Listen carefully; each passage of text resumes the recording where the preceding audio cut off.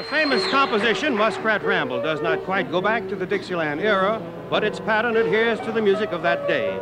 The arrangement consists of the usual three parts which call for the blending of the horns and the traditional two-beat background by our rhythm section. It's Muskrat Ramble.